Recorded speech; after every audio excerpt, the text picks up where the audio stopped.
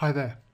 Now in this question we're shown this figure here. It shows a sketch of part of the curve C with equation y equals x multiplied by x plus 4 multiplied by x minus 2.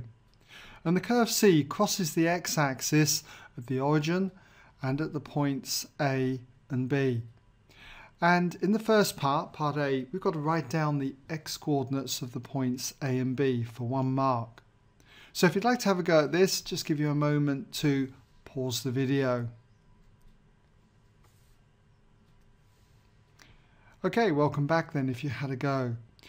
So at the points A and B, y would be equal to 0.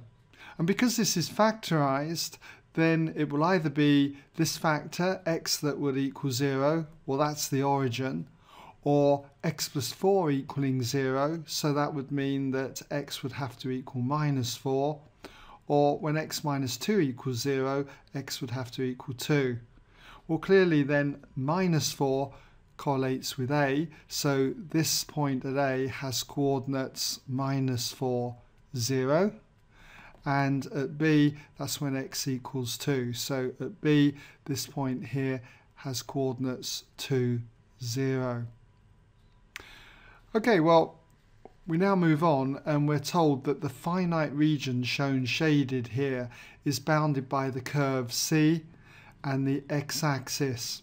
And in part B, we've got to use integration to find the total area of that finite region for seven marks. So again, if you'd like to have a go at this and haven't done so already, just give you a moment to pause the video.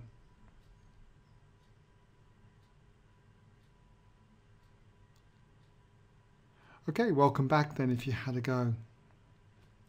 Well, first of all, what we're going to need to do is to integrate this equation here. And what I'm going to do is we'll just expand this first of all so that we've got the x multiplied by x plus 4 times x minus 2. Well, if you expand x plus 4 times x minus 2, you're going to get x squared, then you've got minus 2x plus 4x, so that's going to give us plus 2x. And then you've got 4 times minus 2, which is minus 8. And if I now expand this bracket, multiply through by x, you're going to get x cubed plus 2x squared, and then minus 8x. So we've got to use integration then to work out this shaded area. And what I can see is that I've got one part, part here which is above the x-axis and one that's below. And the one that's below, if we were to integrate our value for y with respect to x, it would give us a negative value because we've got a shaded area below the x-axis. So realizing that, knowing that I've got to do this in two parts, from minus 4 to 0 and then from 0 to 2, what I'm going to do is just work out what the general integral of y is with respect to x. So first of all then, let's just integrate y, which is x cubed plus 2x squared minus 8x. So we'll just put that in brackets because we've got more than one term there. x cubed plus 2x squared minus 8x and I'm integrating all of that with respect to x. And in the usual way, if we integrate terms like this, we just add 1 to the power and divide by the new power. So that's x to the power 4 divided by 4. And for this second term, add 1 to the power, so that's 2x cubed and divide by the new power, so that'd be 3. And the last term, that's minus 8x to the power 1 at the moment, so if you add 1 to the power, that's 8x squared, and then divide by the new power, that's 2. And this reduces, 2 will go into 8 four times, so we've got minus 4x squared here. Okay, well, when it comes to working out, say, these two areas, then let's say that we call this area R1, okay, region 1, and then we'll go for this one here, okay, we'll just indicate that as being region 2. So for area R1, let's just put there for area R1. what's it going to be equal to? Well, we're going to have to integrate this between the limits minus 4 to 0. And we can see then that this is our answer. So all we need to do is just put this in square brackets. We've got x to the power 4 over 4 plus 2x cubed divided by 3 minus 4x squared. And we've got to work this out between the limits then minus 4 to 0. So if we substitute 0 in first of all, then we're just going to get 0 plus 0 minus 0, which is just going to be 0. So I'll put it there anyway. And then we've got to subtract what we get when we put minus 4 through here for x.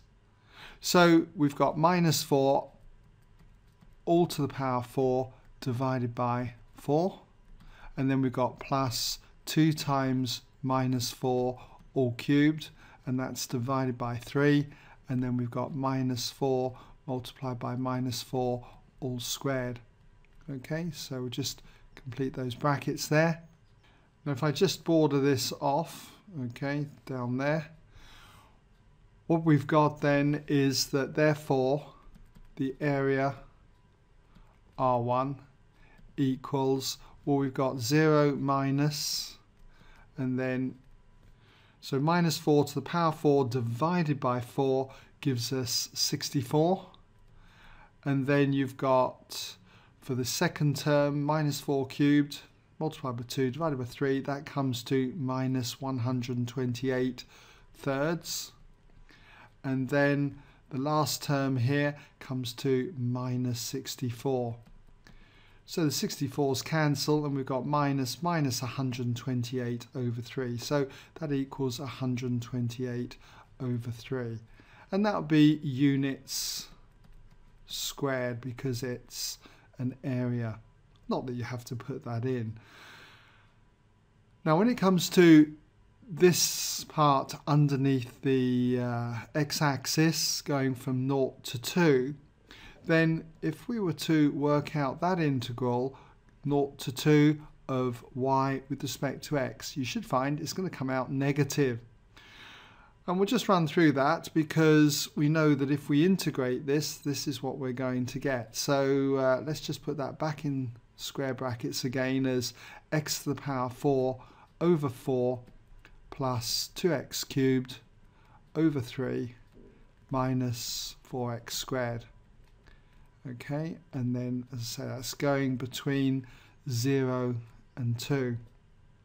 And if we substitute our values in 2 first, you're going to get 2 to the power 4 then over 4 plus 2 times 2 cubed over 3 minus 4 times 2 squared. And then put 0 through, well that's 0, 0, minus 0. So you're going to have basically minus 0 there. Well if you work this out, this comes to minus 20 over 3. And it follows from this that the area can't be a negative value we expect it to be negative because it's below the x-axis here. So it follows then that the area of R2 must be the positive value 20 over 3. 20 over 3 units squared. So therefore, when it comes to the shaded area, just put an intro here, shaded area, all we've got to do is just add together the two areas. That's 128 thirds plus the 20 thirds. And what we get now is 148 thirds. Okay, and again, I'm just going to write units squared in there. Okay,